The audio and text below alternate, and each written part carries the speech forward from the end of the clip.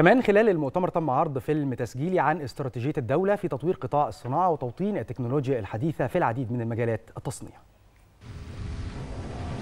الصناعة مش كلام هتقوله ويحصل. الصناعة حلقة متكاملة مش مجرد مصانع وعمال. الصناعة قرار.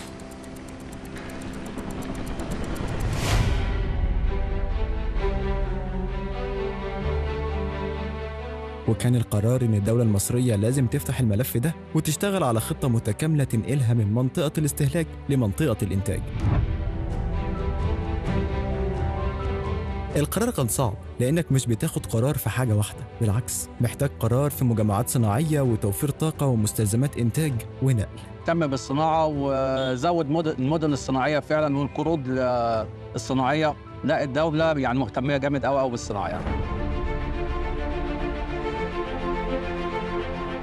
لكن الدولة المصرية قبلت التحدي واشتغلت على الملف بكل طاقتها وحطينا حلول للمشاكل وقدرنا نسخر كل مواردنا علشان نوصل لغاية الإنتاج. إجمالي حجم المشروعات في قطاع الصناعة خلال التسع سنين اللي فاتوا وصل 128 مليار جنيه. يمكن الرقم ده يكون هو إجابة سؤال بعض الناس عن إيه اللي عملته الدولة في ملف الصناعة. والإجابة بتكمل بمبادرة لإعادة تشغيل المصانع المغلقة وقروض لتنمية المشروعات الصغيرة ب 46 مليار جنيه. وده من خلال جهاز تنمية المشروعات الصغيرة والمتوسطة ومتناهية الصغر. مش بس كده لا كمان منح بقيمة 3.1 من 10 مليار جنيه لمشروعات البنية الأساسية والتنمية المجتمعية والتدريب.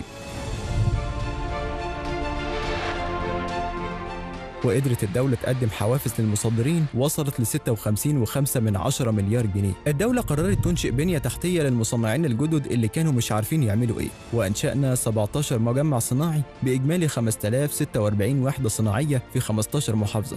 بتكلفة وصلت ل 10 مليار جنيه، وتم الانتهاء من تخصيص أربع مجمعات صناعية بنسبة 100% والإنجاز مستمر، وقدرنا نرجع ونطور صناعات استراتيجية زي صناعة الغزل والنسيج وده من خلال إنشاء أكبر مصنع غزل في العالم. في المحلة الكبرى وصناعات تانية مهمة زي صناعة الألمنيوم والصلب.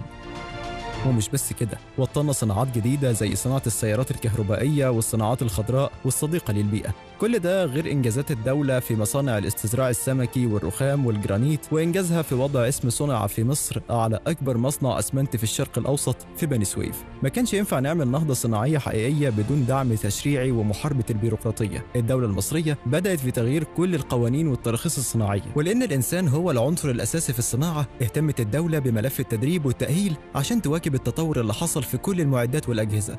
علشان كده تم تدشين 43 مركز تدريب مهني في 18 محافظة وتنفيذ 876 برنامج تدريبي وده بالتوازي مع استكمال برنامج إصلاح التعليم الفني والتدريب المهني الممول من الاتحاد الأوروبي. مفيش حلم بيبقى حقيقة من غير تحديات ويمكن مفيش أكبر من تحدي أزمة كورونا اللي وقفت كل مصانع العالم. وبعدها الحرب الروسية الأوكرانية اللي أثرت على أكبر الاقتصاديات في العالم وده أثر على مصر في رفع فاتورة الاستيراد. الدولة واجهت الأزمة وفكرت وقررت إنها لابد من توطين الصناعة للمنتجات اللي بنستوردها بشكل كبير. وعلشان كده ظهرت مبادرة إبدأ اللي كان الشغل الأساسي بتاعها تسهيل الإجراءات على أي حد عنده فكرة للتصنيع المحلي وتقديم كل الدعم اللوجستي والمادي.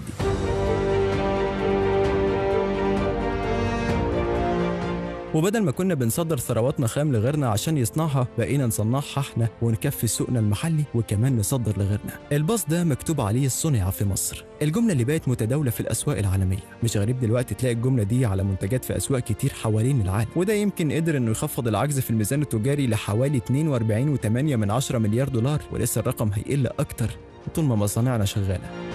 وصلنا بالقطاع الصناعي إنه يساهم ب 16.8 من 10% من الناتج المحلي الإجمالي. كل الأرقام يمكن تفهمها أكتر لما تعرف إن قطاع الصناعة في مصر مشغل أكتر من 3.7 من 10 مليون مصري. التطور الكبير في الصناعة خلانا نقدر نصدر ب 35.8 من 10 مليار دولار حجم الصادرات المصرية في 2022 بزيادة 61.3 من 10% عن 2014 والحلم مستمر إننا نوصل هدفنا ل 100 مليار دولار صادرات مصرية. ملف الصناعة المصريين عملوا فيه معجزة. معجزة ما كانش هدفها بناء وتشغيل مصانع لكن كان هدفها الأكبر إنها ترجع مصر على خريطة الصناعة في العالم.